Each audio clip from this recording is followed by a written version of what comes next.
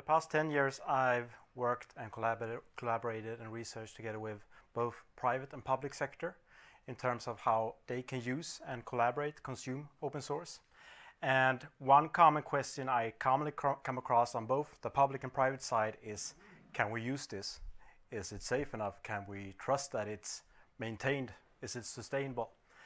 Um, so for the past almost one year and one year ahead, we have this research project where we're working together with primarily the Swedish industry and uh, Scania, um, working to develop a health assessment framework enabling um, you and your organizations to evaluate the, the open source components that you use, but also that you're potentially considering in your intake process as, as a way to be more secure and, and address the, the risks that taking in open source that has a low level of health or sustainability. Um, so this, this can enable you both in a sourcing option, should you choose something else, or uh, should you develop it, or whatever. Um, or is this something that you're dependent on, then maybe you actually need to go in there and try to engage and contribute back uh, to the project that you are using and are depending on. So this is a way trying to to identify these and analyze them uh, on a more qualitative level. Is this is this um, a project uh, where you should engage in, or how should you consider it in your intake process? So what I'm presenting today is like a first draft of this framework, um, where we've identified 107 characteristics over 15 different themes. So open source health is a very multi, multi, multifaceted topic. It's, it has so many streams, so many perspectives, so many nuances. So it's very difficult to get a complete picture. So this was our first step uh, in, in doing this. Uh, so I'm going to give you some context here, trying to describe what, what, what I consider open source health.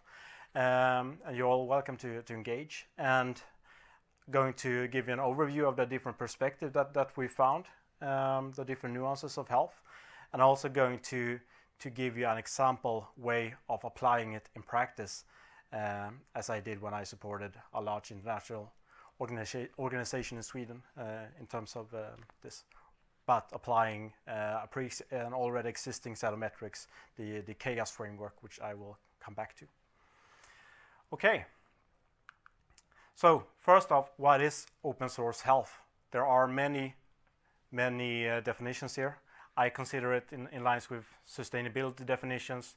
It's a project's capability to stay viable and maintained over time without interruption or weakening, so that there is a high quality maintenance all through. You can also look at it from, from um, a more ecosystem perspective, consider it pro pro its productivity, robustness, and openness. Productivity meaning how active is it how actively is it developed? In terms of robustness or stability rather, how concentrated is the development to one or a few individuals or one or a few companies? And then openness, how open uh, is it for, for you and your organization or you as individuals to actually come in there and contribute and influence the direction on where it's heading?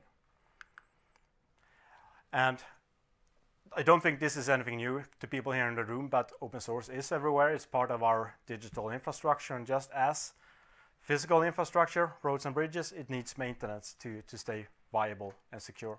So hence the um, analogy to, to um, bumps and cracks. So we, we need to care for its maintenance. And I think this strip here from XKCD is quite well shared on, on Twitter, where all of the modern digital infrastructure really relies on these small open source components, often maintained by one or few individuals, uh, quite often in, the, in their spare time still, even though some, people, some of these maintainers are, are, have started to more develop different business models or being employed and so on.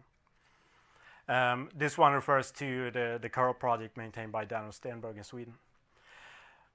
But a lot of people I, I talk to still in both public and private sector, uh, at least in Sweden, they think that that this is not an issue, that it's it's cared for by others.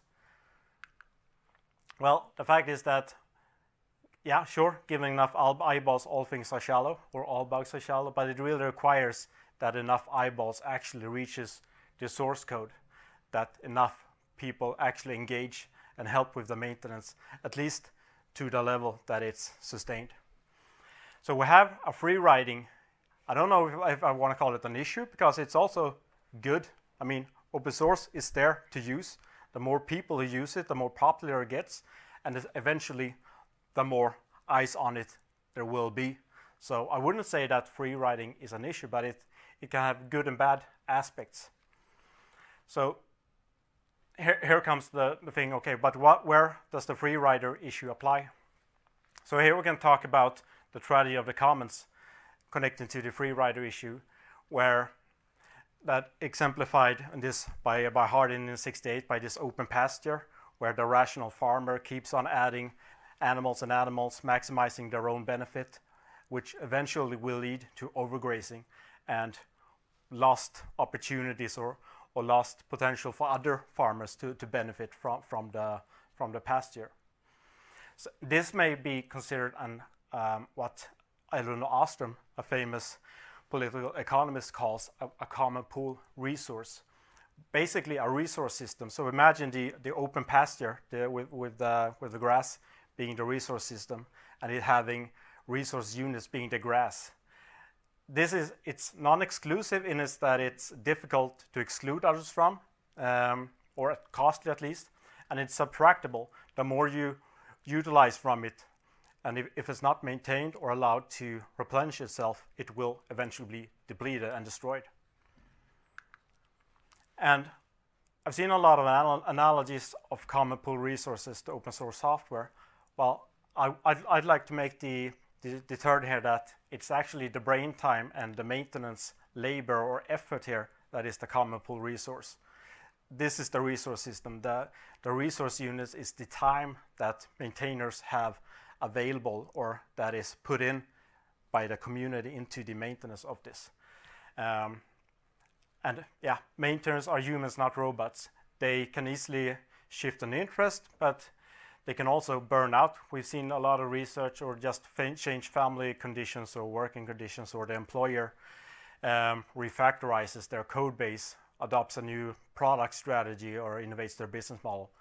And all of a sudden, the maintenance is gone. So what happened? What are you going to do now? So how can you and your organizations uh, and in your use case, in your intake process, how can we how can we find these cracks and bumps before they appear? How, how can we identify these open source projects uh, and, and put in the effort to, to help with the maintenance and raise the health? Um, and also enable you to make a more informed decision on what software you are using and help your engineering departments and organizations to make better choices and help you with a better risk management process here. So we say by considering the, the health of, of open source in your intake process. So allowing you in, to, to consider on a, on a more rough level, at least in the intake process usually in, in an organization to, to consider this. Um, but I've also seen in uh, on the acquisition level, especially from public sector, where you have the procurement process, there is a need to be very thorough here to be able to compare open alternatives between each other, but also to, to the proprietary options. And this is all quite commonly, at least in the Swedish context, where public sector falls short in choosing open options because IT security or cybersecurity or someone comes and says that it's not secure. We can't trust open source. Um, we have to go with what they're using in the municipality next door. So what we did again, we found 146 studies and 107 characteristics. So 106 or 7 things that could characterize health on an open source project. That, that's quite a lot. And I don't think that we can consider everything when we're thinking of taking an uh, NPM library into our, um, into our development. Um, these are divided among 15 themes, so a bit higher. Um, but still, we need some kind of prioritization here, what to look for and so on. And this is very contextual to your organizations. So in the in the application I did with the CHAOSS metrics, which I will explain in, in a moment, we interviewed and worked with the company trying to find out what their risks are and really boiling it down. So I'm not saying that we have to consider all the 107 characteristics, but considering health of an open source project is basically painting a, a, a picture and then being able to interpret that from your perspective, what, what you consider a risk and so on, or what risks you are willing to take and so on.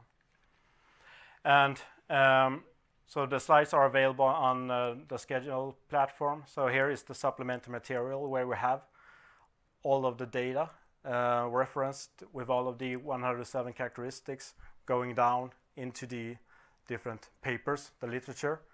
Um, and also we listed the metrics uh, connecting to the different characteristics. Uh, I'm not explaining that here. I, I didn't bring that up in the paper, but it is there for you to dive into if you want.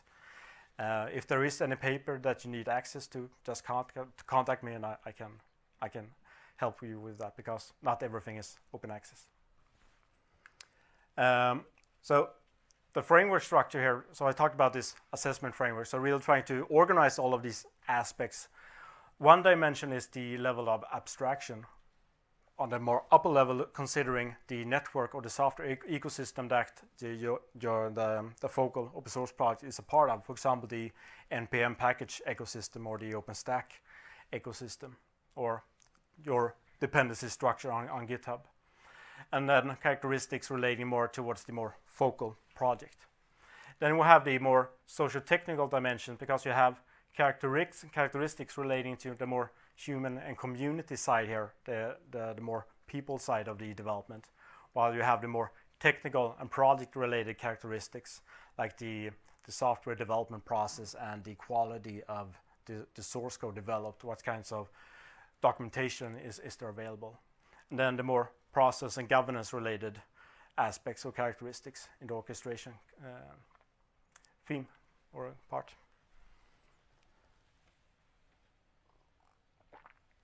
So I'm not, don't be afraid, I'm not going to describe 107 characteristics, but just to, to, to give you a feel for it. So one of the themes is communication. So how productive is an open source project in planning and discussing the evolution, be it over different mediums. So here we saw response time, how quick is the maintainers and the community in asking or responding to, to questions, be it over a pull request or an issue or the, the chat or whatever. Um, the quality of these responses, the social activity, um, and also the visibility was also lifted on, on uh, Twitter and uh, and other platforms. There was one study quite recently highlighting how Twitter actually can have a positive or being active on Twitter can actually have a positive effect, although slightly, on growing your contributor base. Culture, which is a bit, a bit more softer, uh, not that easily to, um, to measure quantitatively, which requires more of a qualitative approach in, in uh, measuring or, or characterizing. So how able is the community to facilitate an open and inclus inclusive collaboration? So are there conflicts represented? Are there conflicts? Uh, how severe are they? How are they managed? Is all discussions blown out of proportion, or is there uh, some kind of sanity in, in, the in the in the discussions? Sentiment toxicity is is a qu quite large topic. There are a lot of different uh, algorithms now being developed trying to to characterize the sentiment and to toxicity from different perspectives in in these discussions. Openness for um, for um, for input uh, are you shut down? Re recognition of new contributions or people coming in. Diversity, another soft topic. Um, how able is the community to accommodate and attract a diverse community of actors?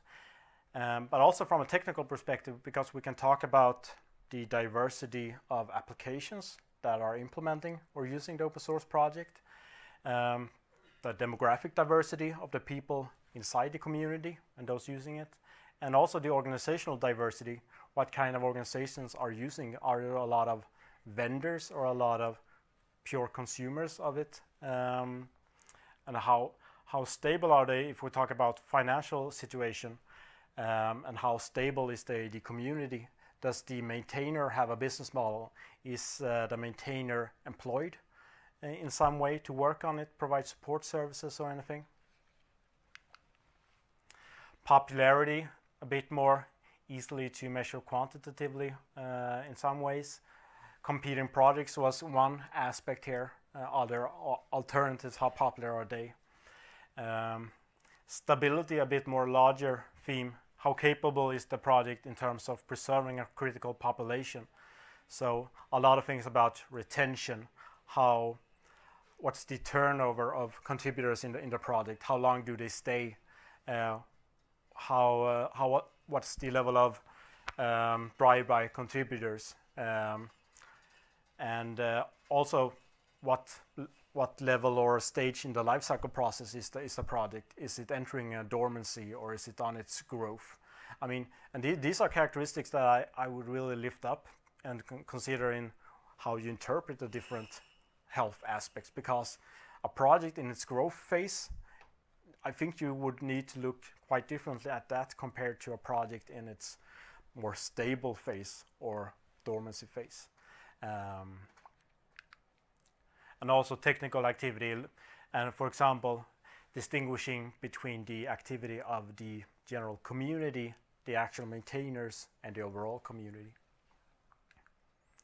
From a more technical perspective, the development process, is there a contribution process? How well detailed is it? Is it easy to understand?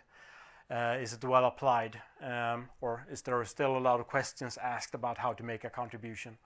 Are there good sample good newbie or um, start, starting off issues? Is there an onboarding process? How good is that? Uh, quality assurance and so on. Documentation, um, more qualitative perspectives. How complete is it? How complex is it? And uh, how up to date is it? Its currentness, but also what kinds of, of, of documentation is there? Is there a requirement doc? Is there a testing strategy? Uh, is there a roadmap? is there a user documentation? Uh, what's the level of the more technical developer documentation?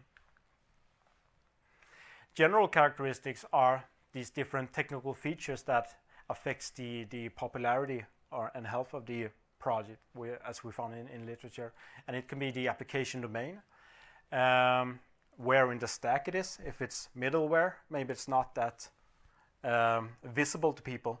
They're not, they don't know they're using it while in the front end, people are more aware. And what kind of technology is it? Is it JavaScript or is it C? They're, they, they can attract uh, different amounts of people depending on the, community. Licensing aspects, um, more from the company consumer perspective. Scaffolding, talking more about the infra infrastructure, how accessible and open is it?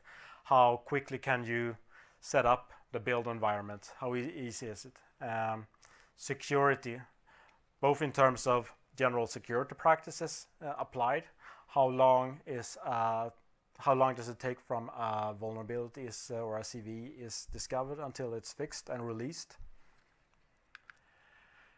And then the more technical quality perspective, which is more non non uh, functional requirements, uh, maintainability, and um, but also looking more at the source code. A lot of papers highlighting the importance of um, not too complicated or um, the quality actually of the source code.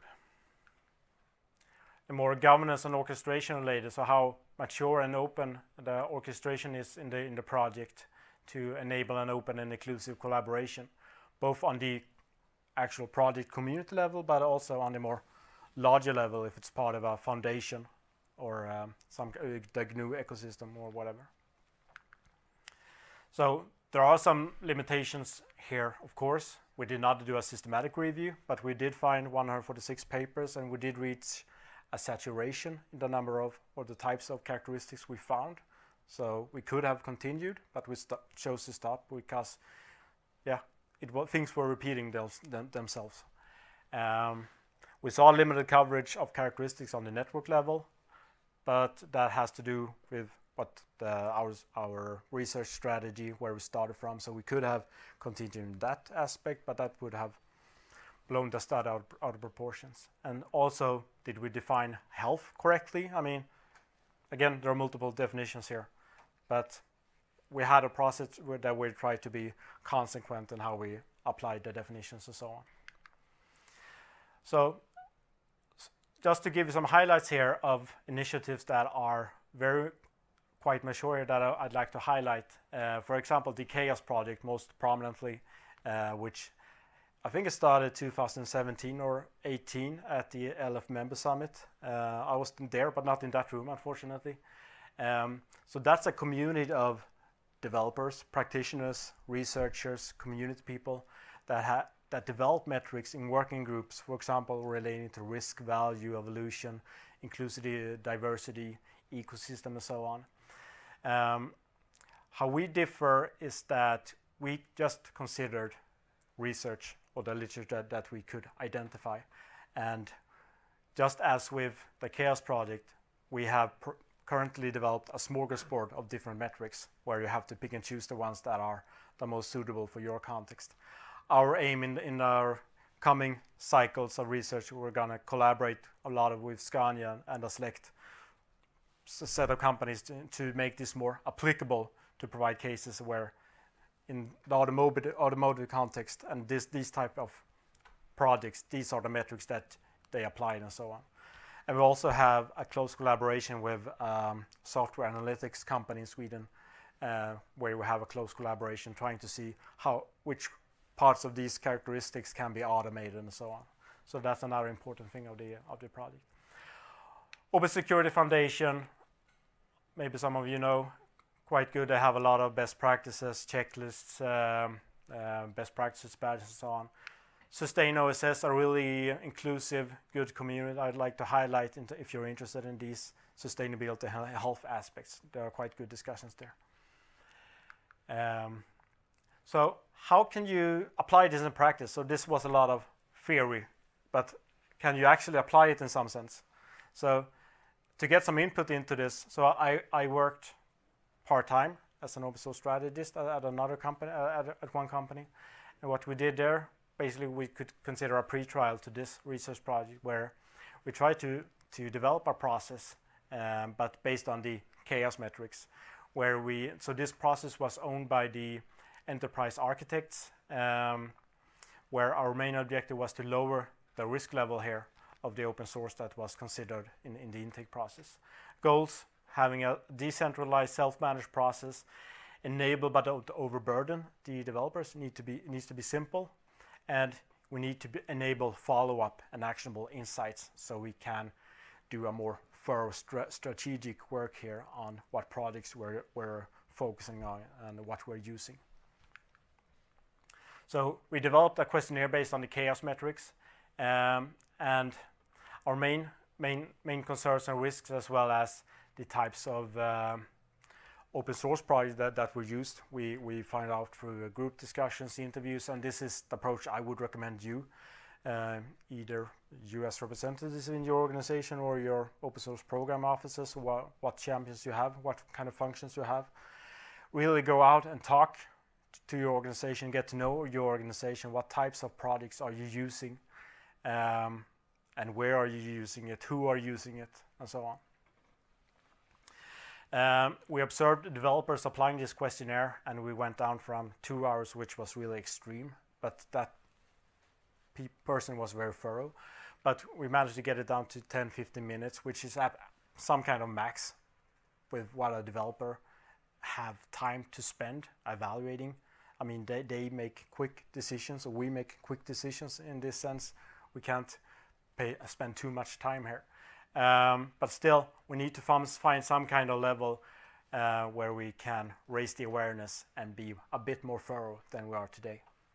Um, and the, the outtake here was that it, it was considered to raise the awareness and decrease the overall risk in the intake process. So I would say a lot of the main thing here, the main goal here is, is to increase awareness and provide developers, engineers with a framework that they can use with their experience to more interpret and consider the open source product that they are using or take the help of, of their peers which maybe have more interest or more experience in, in open source in using open source and so on. Because a lot of developers they have their experience they they have the things they look for. Some people look for other things. Um, new people maybe, maybe don't know what to look for. So this is a way to help them zero down or find a common language in what they look for. Things to consider again interview and map up your concerns. Consider the types of project uh, used. Keep it lightweight uh, it's a checklist. Simple answers yes and no. Simple categories, but still try to capture these different aspects. Um, must be easy to find and process the data to answer these questions. So if, if really provide directions, okay, type this git command to get this number to be able to answer the question or only spend five minutes in the issue tracker to get a feel for how well, how quick people respond. Um, really try to, to, to frame it. Automate where possible. Again, if you can script things, build an application, in, in, and especially into your to, to your existing pipeline, um, that that would be good, because we today we use very large amounts of open source. So there needs to be so really to do this in a more mature fashion, I would really recommend some kind of flagging function where you take a set of the characteristics or the metrics that you identify and automate it so you can get red or, or, or yellow, orange flags on projects. And then with these projects, then you can go in and have a look on a more qualitative level, closer level, where you can use the more checklist that uh, you are other, otherwise using in the intake process. Um, and again, there's no one model or number here to describe the level of health or sustainability of an open source project. It's really so the 107 characteristics and the 15 themes and so on, these are different pencils that allows you to create your picture of how you interpret open the, the health. And then you need the guidance in, in coming up with a, a conclusion out of the painting, just when you're walking around a museum trying to what did the artist mean here. Um, different characteristics can help you guide, uh, guide, guide you in creating this picture. Um, yeah, and uh, I won't go into this, but we did a, a pre-trial as well at, at the Swedish Employment Service where I helped them in an acquisition process evaluating two different open source based e-archival solutions. Again, highlighting the importance of considering open source health, but sometimes you need to be a bit more rough on the edges and do it quickly to, uh, to address the risks in a, in a, on a suitable level. But in the procurement process, from the public perspective, you really need to be thorough and be able, able to motivate. So even here, the, the health perspective has uh, a potential use case to, to fill. In the future, we will iterate on this again with, with companies. Um, and trying to make it more precise and, and detailed in certain use cases for certain uh, open source projects and so on.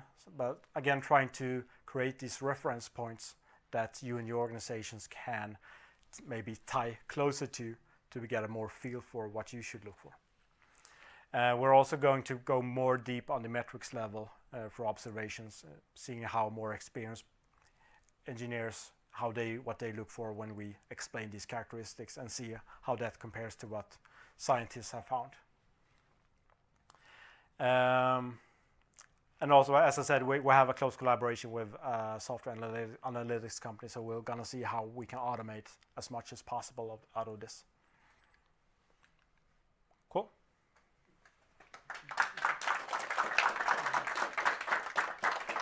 Yes. Can you go back two slides? Yes.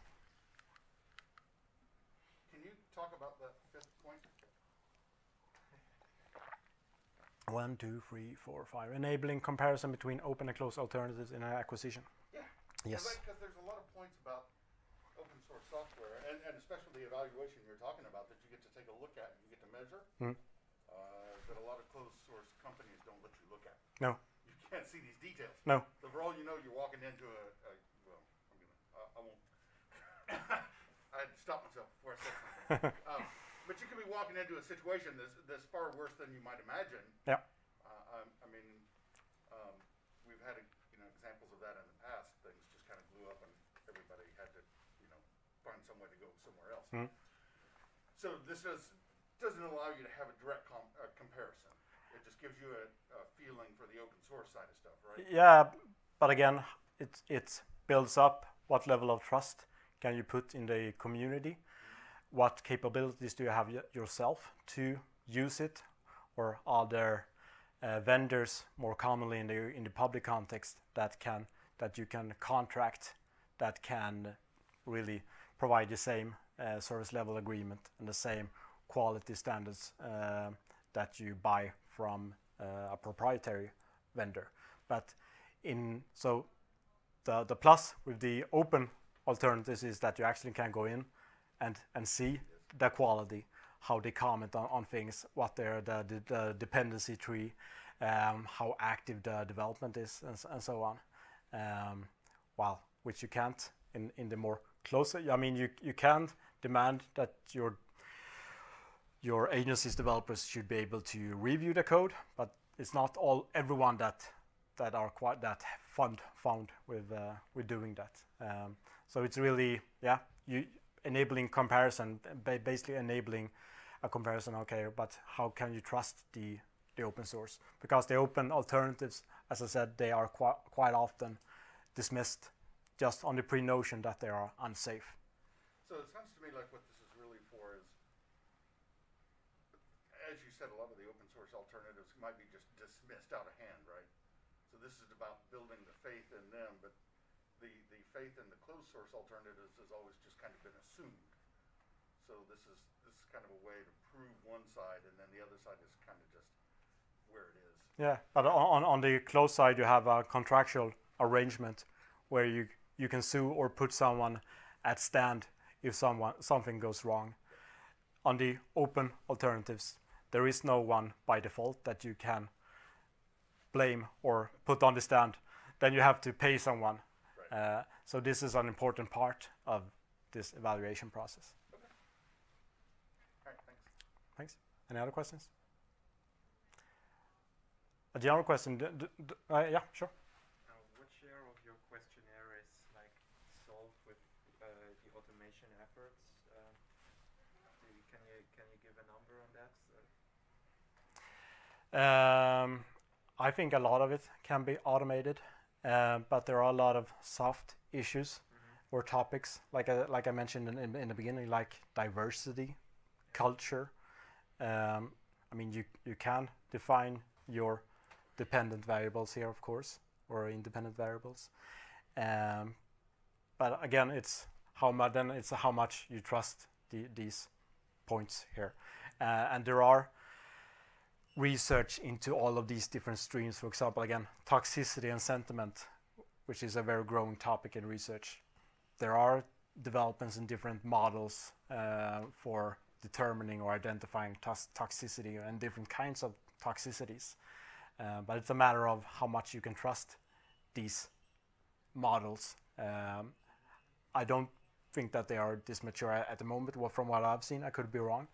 Um, but again, some things you need to look more qualitatively. Um, so, on when, when doing this more of a thorough investigation, it leaves room for this uh, type of analysis.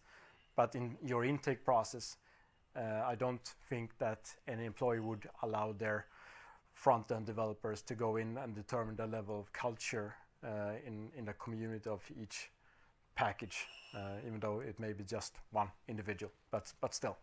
Um, but I, I think a lot of it can be automated, but a lot of things are are um, quite qualitative. So that that's why I really highlight this aspect of trying to integrate it into your pipeline, in, introduce some kind of flagging function where you should go in and look, so kind of, some kind of pre-screening process. Does anyone here uh, con- consider the health or sustainability in, in your intake process? Do you- security scorecard by the OpenSSF. Yeah. That at least gives you some measure of Yeah. like diversity in terms of committers and Yeah. the security of the project. Yeah. So I think it's a great tool. How do you apply that in your? Uh, well, you can look at your, your dependencies. Yeah. Um, like I work with a lot of open source projects, and you can uh, you can look at your dependencies and see what, what scores they got, for example. You use that consequently for your full intake process? Um, yeah, or we're, trying to anyway. Yeah. And what's the uh, out outcome if it's a bad score? And, uh, It's a good question. I mean, on the open source side of things, you can work with the projects to improve their score. Yeah. Um, you know, like are they using branch protection? Yeah. uh, Requiring reviews before commit, that kind of thing, and uh, hopefully you can try and persuade them to improve, improve their scores. Are you satisfied with, with it, or do you see any room for improvement? Uh, there's always room for improvement, I think. Um, yeah, I mean, in terms of improving automation and um, adoption across the kind of open source ecosystem. You, I'm not putting you on the stand, but you in the purple, looking down at your computer. Did you consider health in your organization as well? How do you uh, do that? Well, we've, we've built our own checklist, so it's good Yeah. to see what others are doing. So what do you consider? Uh, so uh, parameters were activity, diversity of the community, Mm. um, the value in, in how much is invested by the community Yeah. in the product. It's really interesting. And security index. Yeah. How do they handle the problems that they encounter? Have you automated this, or is this a qualitative check? It's qualitative check. Yeah. How long does it take for it to, to go through the list? Too long. Too long, okay. More than the time that you took us more than 15 minutes, so Yeah. we already We, we And, note it down. we noted be done in so, like- 15 minutes. So. okay. But again, it's a it's a matter of how far do you want to be. When can you reach a level where you think that the risk is acceptable, that you're increasing the awareness for the engineers to to make this decision on how far you you are in your, how much you trust your engineers also. They, they only want a solution that works for them, right? Hmm. They, they're fixing problems. and they want to focus on that. Yeah. Any other inputs, reflections? Do you plan on open sourcing your questionnaire? Yeah. Um, yeah, absolutely. I mean, it's it's um, I, I condensed it based on the the CHAOSS metrics. So I mean, the original data, but I can um, I can share that. Yes, I can update the um, the PowerPoint in uh, on the Sched uh, um, platform as an app- appen- appendix. Yeah. You said you're working with companies in Sweden to actually develop automation. Yeah, we're collaborating with one company that are developing uh, tool support for this. The, the previously they were called Debricked. Now they're uh, acquired by Micro Focus, I think. Are they, are going to open source? Uh, they are uh, in, in the research project. The the goal is that they are going to release their data model uh, open. Yes. Yes. So I know you um, were one of the experts on a document from OFE on OSPOs in government. Um, and I'm curious whether any of this stuff has been used so far outside of industry in, say, NGOs, governmental practices, or other areas, or whether you plan on doing that. So again, um, the project is focused on private, but I I ha- have a, uh, I like working with the public because of the impact and societal aspects, and the only only aspect that or thing I know of is when I applied it in the in the context of the um, of the Swedish Employment uh, Agency. Um, but that actually led to those e-archival professionals. They were starting to talk about open source health at national and international conferences with people working with e-archival solutions. So, I mean, for every case that we apply this, it, it spreads and, and people gets to know it because open source health is sustainable, sustainability, tho- these are new words to people. I mean, people in, in Swedish public sector, they hardly know what open source is. Um, so, and the main, I mean, I mean, uh, challenge here is that they think it's insecure, or that's what people are telling. So this is a way to counter argue this. So it becomes a tool for them to uh, to work with this. but hopefully, yes, we can come to there.